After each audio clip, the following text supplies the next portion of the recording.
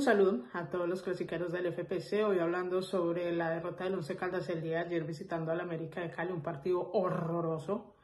el peor que se le ha visto al Once Caldas en este semestre, creo que fueron a Cali más que todo por cumplir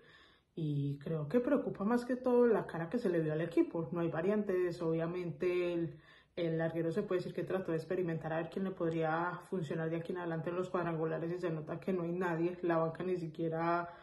hay una variante que uno diga va a revolucionar el fútbol del Once Caldas, entonces sí preocupa bastante porque no sabemos qué equipo es el que va directamente a estar en los cuadrangulares, el de las primeras fechas o el de estas últimas, porque lamentablemente la cara que vi ayer en Once Caldas a mí en realidad me deja preocupada y no, es, y no vayan a salir muchos hinchas a decir que somos enemigos y que todo lo criticamos, no, pero es que también basta nosotros de no tener autocrítica independiente que nosotros hace cinco años viniéramos en una racha negativa de no clasificar y más que todo cumplir en el calendario del FPC, no quiere decir que el Once Caldas vea esto como ay, un logro por, por clasificar de, durante los dos cuadrangulares de este año, ¿no? Es que el Once Caldas tiene una obligación con referente a eso y tiene una historia, hay una historia que tiene que volver a escribir, entonces salir con esa condescendencia y ese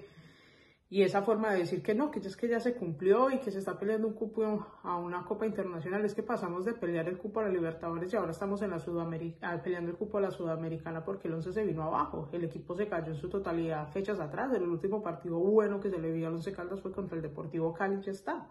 en funcionamiento táctico, en planteamiento fue el único partido, el último partido bueno, de ahí para acá se sufrieron con rivales que no se debían sufrir y obviamente se perdieron puntos de manera ridícula, lo de ayer fue desastroso, uno se los que en el primer tiempo no jugó nada, no se le vio idea. Creo que seguir intentando con ciertos jugadores ya es totalmente ridículo y creo que no hay ninguna variante en el, en el banco que pueda obviamente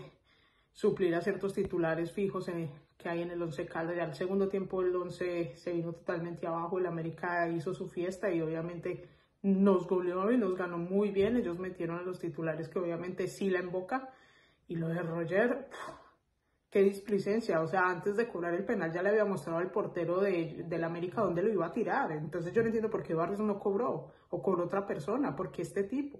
Entonces ahí es cuando decimos se les da la oportunidad, no la aprovechan y luego somos diciendo qué variantes hay. Jeffrey sí lo supo hacer y creo que, que suficiente también con ciertos jugadores que, que, son un fantasma en el terreno de juego y creo que el arriero ya, ya suficiente de, pañitos de agua tibia y todo lo demás, pero ya sencillamente tiene que salir, hacerse una autocrítica y evaluar qué es lo que va a hacer en los cuadrangulares, porque el Once Caldas parece que va a ser el comodín, y es que de eso no se trata. Hace varias fechas atrás hablábamos de un equipo fortalecido, un equipo que obviamente tenía una idea de juego, que la línea de atrás era totalmente férrea, que había transiciones, que habían conexiones, y el equipo está teniendo un fútbol fluido, pero de un momento a otro se vino abajo y no sabemos si es es de la cabeza, si es el físico, no sabemos absolutamente nada que lo que pasa con el Once Caldas, porque son dos equipos directamente, se partió el torneo y el Once Caldas, las primeras fechas un equipo totalmente avasallador en el terreno de juego y en las últimas el equipo que venía haciendo en los últimos años. Entonces no entendemos qué es lo que sucede. Si el arguero no se sienta con juicio a verificar qué es lo que,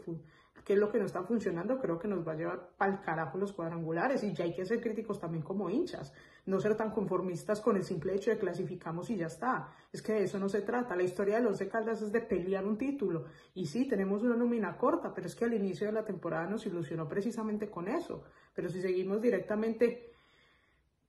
conformándonos con simples clasificaciones y pelear un cupo la Sudamericana, vamos a seguir el mismo proceso y quién sabe cuántos años van a volver a pasar para estar en una final. Entonces creo que como hinchas también hay que, hay que pellizcarnos y ser conscientes de que el equipo está para otras cosas si los jugadores son conscientes. Es que se le han hecho partidos a equipos muy complicados, a los llamados históricos del FPC y perdemos con rivales que en realidad es totalmente irrisorio. Perdimos con fortaleza los cuatro eh, partidos durante el año. Entonces, hay que empezar a hacer autocríticas, tanto nosotros como hinchas, como el cuerpo técnico, para hacer unos buenos cuadrangulares, porque nos tocó con Tolima Junior y América. Con América perdimos ayer, con el Tolima y el Junior se empató. Entonces, desde el primer partido hay que dar el golpe sobre la mesa y más que todo con el América que llega con la ventaja deportiva. O el Once Caldas se pellizca y vuelve a ser el equipo de las primeras fechas, o van a ser otros cuadrangulares totalmente tétricos para nosotros como el semestre pasado.